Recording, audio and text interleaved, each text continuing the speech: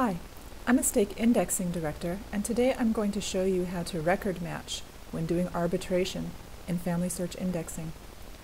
First of all, you will need to have arbitration status, and um, if you don't, then this video won't be of any use to you. But if you are an arbitrator, then I'm going to show you how to do record matching, which will make your job easier and will also make the indexers happier as they will not be penalized unfairly for having entered um, names in a different order than the other indexer. So um, the project that I'm using as an example here is the U.S. Idaho Obituaries 2007. Uh, if this project isn't available when you're doing arbitration, it doesn't matter. What I'm showing you here is valid for any project whatsoever. I just chose this one as an example because it is really important in this project to do record matching. We'll see why in a moment.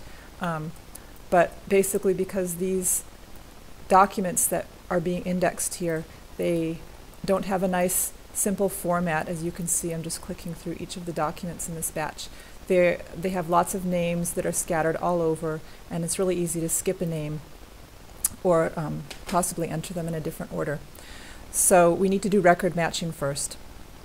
Now, if you see down here in my record matching tab, basically I can't see any of the names. My screen is too small uh, to show all of the fields. So what I need to do is to hide all of those fields that are not relevant for this um, stage of arbitration. So I'm going to go to View, Record Matching Fields. And now what I'm going to do is I'm simply going to hide all of the fields which are not names. I'm not deleting them, I'm just hiding them for this step.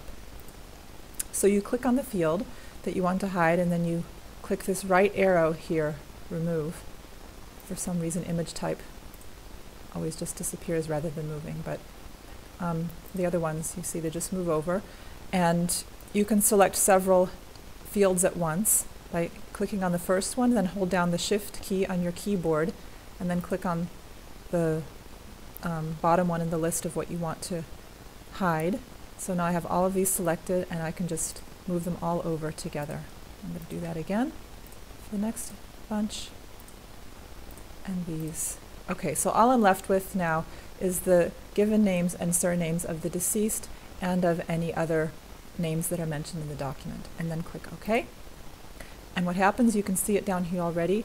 Uh, now I can see all of the names and I'm able to record match much easier. So let's go back to image one. Okay, and if I just scroll through this quickly, you can see right here, so the first, the first six names are good, and then key A has an Eva, and key B doesn't.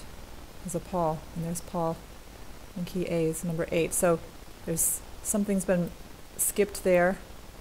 You can scroll down and see what what's happened is that it's if you were to now go into arbitration, I'll just show you that.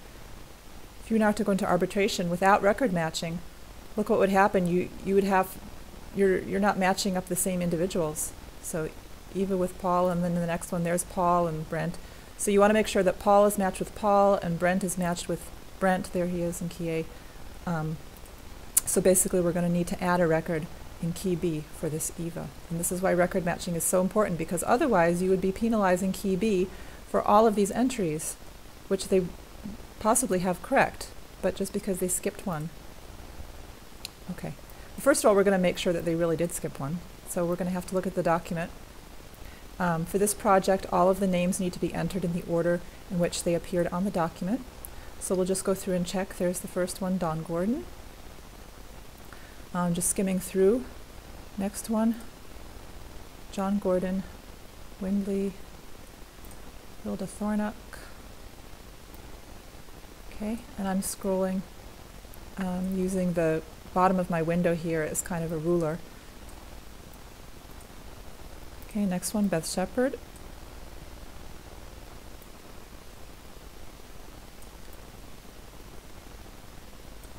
I'm just skimming the document looking for those names. Okay, here's the next one, Gerald, sisters, Mila, and I'm sorry if I'm mispronouncing these names. Um, and Eva, so there's Eva key A is correct. Eva is next. So what do we need to do? We need to click here, no matching records, because there's no match for Eva. And what does that do? That opens up a slot for us in key B, and look at that, the rest of the names look like they've lined up, which is great. But I'm going to go through and check that really all of the names are here in both key A and key B. Because if we've missed one, if we find out later that we've missed a name, that, that both indexers missed a name, um, we're going to have to go back in and add it anyway. So we'll just quickly go through. Next is Paul. Brent, Jill, Lorraine, and Fred, Jolene, and Michael, Paula, Marilyn, and Doug, Allie. Okay, and that's all. So that one's good. Go on. It's asking us, do we want to save it? Yes, we do. Go on to image two. Right, same thing. We have here um, right away from the beginning. There's there's a mismatch here, so we're going to have to see what went wrong here. Check the first one. It's okay. Next, the next one is John Lishman Mander. Oh, sorry, no. The next one is John Woodbury. So key A, key A is correct here. And that's not listed here in key B, so we're going to go no matching record. Okay. Then we get John Lishman, Eva May, Milo Joseph, Milo John, Carol Lynn, Robert Dennis, David Jan, Julia Ann, Cynthia May, Ron. Okay, you notice that some of the names, you can see here there's a discrepancy in the actual name, or here in number 11 there's a discrepancy in the spelling. I'm not correcting those now, that's going to be the next step, of course, when you go to the arbitration tab. So what we're just talking about here is record matching, so that you end up actually matching, um, actually working with and comparing same individuals. Okay, so going on.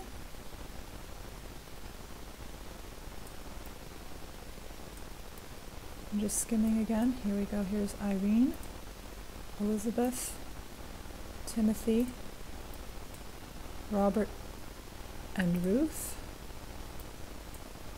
Rosie, Lynn and Sachiko,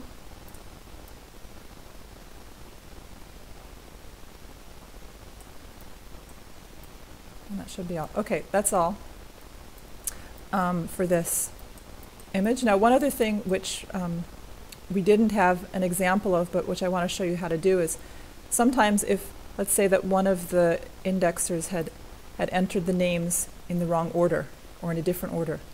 So say key A has Lin and then Sachiko and key B has Sachiko and then Lin.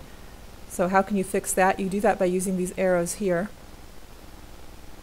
So you would want to move Sachiko down one or Lin up one so that you line them up again. So I'll just move Sachiko down. There, and now they're matched up again. So that's what you would do if um, if one of the indexers had entered them in a different order. Yes? Okay, and then check this one quickly. Okay, so I'm not going to go through right now with you and check all the names because they're probably correct and um, it's just the principle of the thing. So you've seen how to do it now. Um, once I had checked that I have all the names on here that I need for this image, then I can go into the arbitration tab and start the actual arbitration. Okay, so that's it. Record matching, really, really important. Please be sure always to record match before you begin your arbitration. That's it. Have fun.